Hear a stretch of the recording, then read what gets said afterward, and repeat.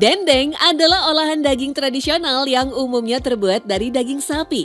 Bentuknya tipis dengan tekstur kering berempah dengan rasa yang nikmat. Selain bergizi, dendeng tercipta agar olahan daging bisa disimpan lama. Nah, yang paling terkenal tentu saja olahan dendeng batoko dari Tanah Minang. Uniknya, di daerah Kecamatan Rumpin, Kabupaten Bogor, penyebutan dendeng bukan untuk kuliner berbahan daging, melainkan sebuah air terjun atau curug dengan panorama alam yang luar biasa. Inilah dia Curug Dendeng. Curug alami ini belum dikelola secara serius. Lokasinya pun cukup tersembunyi. Tapi keindahannya yakin deh bikin berdecak kagum. Ada kisah apa sih di Curug Dendeng?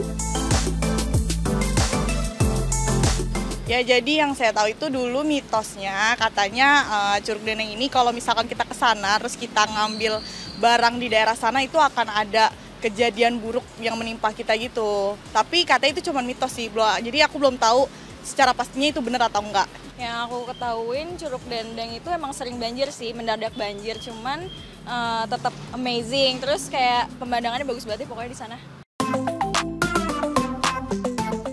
Sebagai objek wisata non-komersil, Curug Dendeng bisa dikunjungi kapan saja. Dari Jakarta bisa dicapai sekitar 2 jam perjalanan berkendara. Lokasinya tak jauh dari kawasan perkebunan milik warga. Setelah berjalan kaki melewati jembatan bambu, sejauh satu setengah kilometer, penampakan Curug Dendeng akan segera terlihat. Tapi pengunjung mesti berhati-hati saat melewati anak tangga yang licin dan berbatu. Bikin penasaran, dari mana sih asal nama Curug Dendeng diberikan? Ceritanya Curug Dendeng da, memang dari dulu dari saya belum ada. Dari semenjak kecil belum ada saya. Bahkan dari zaman Belanda udah ada, udah ada gitu.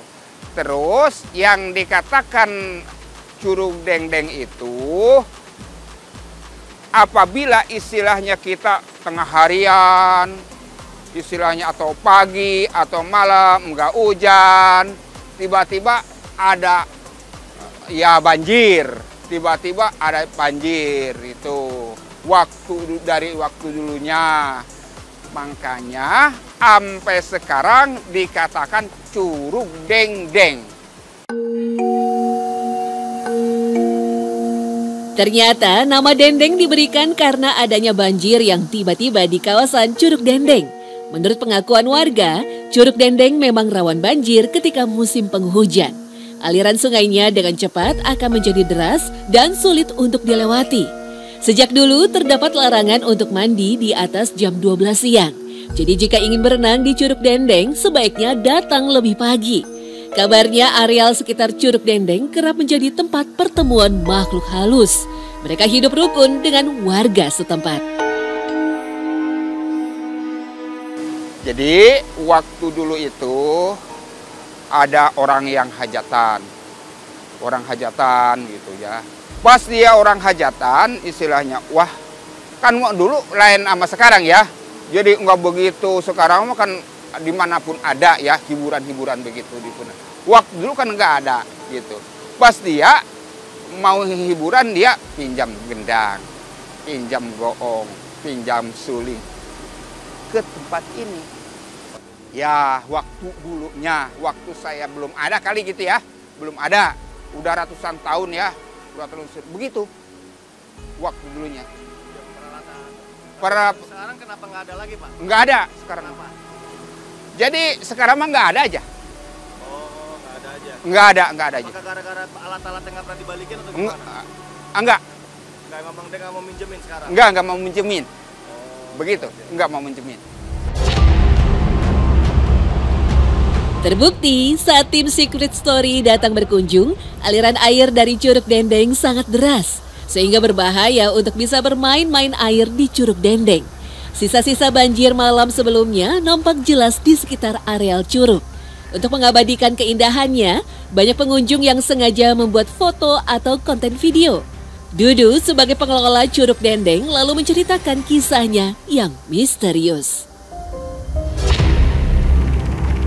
Waktu dulu saya bawa foto, ya foto biasa ya dulu mah.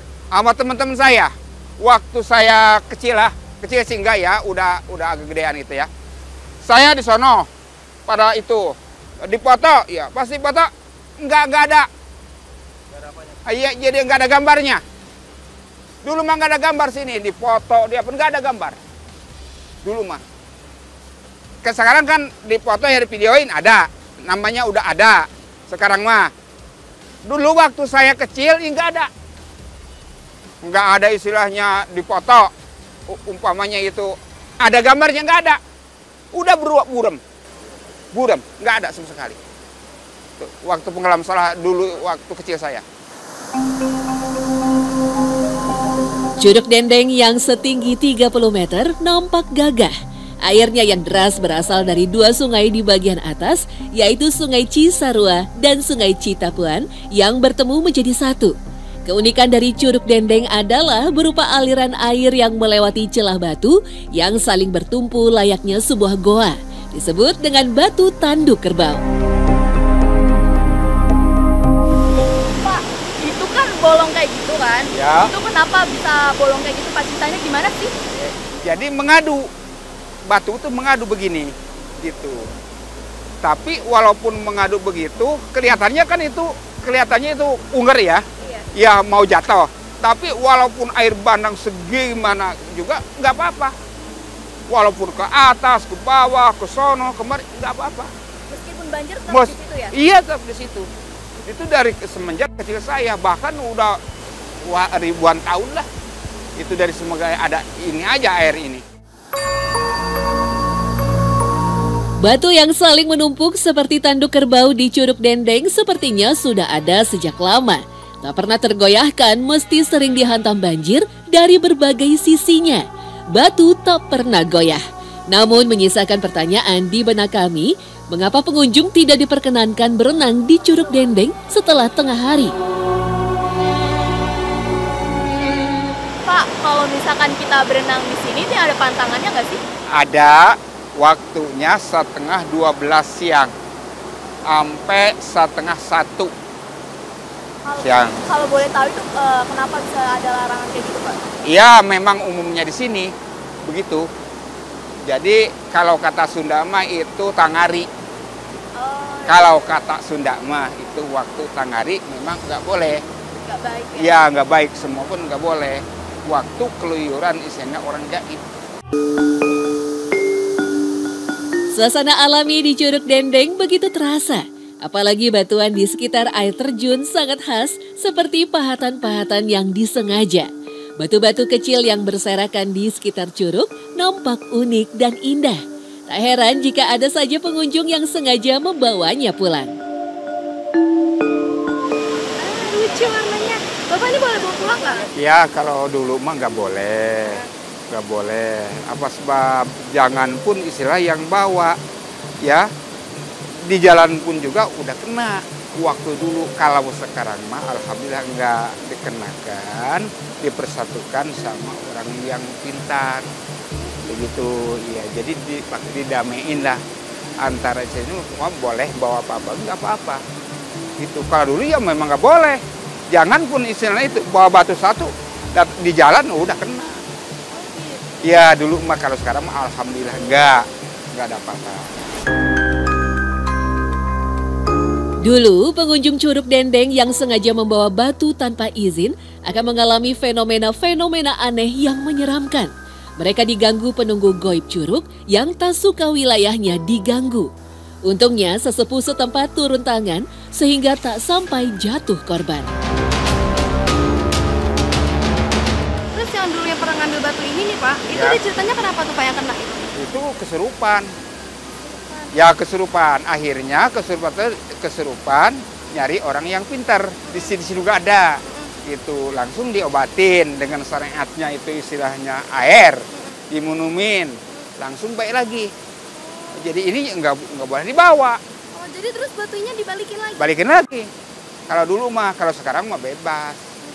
Iya, nggak apa-apa. Kalau sekarang mah, ya kalau dulu memang begitu.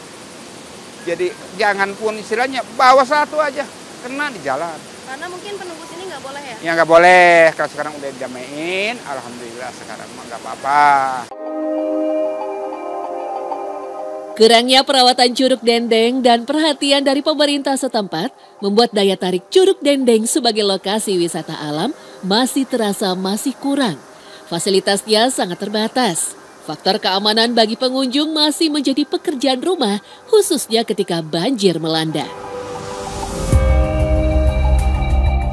Harapan saya ya memang ini sama pemerintah ini mau dirapiin, mau dibangun gitu untuk masuk ke depan kayak begitu. Satu. Kedua, masalah istilah jalan ya, jalan yang begitu sangat eh, rusaknya begitu.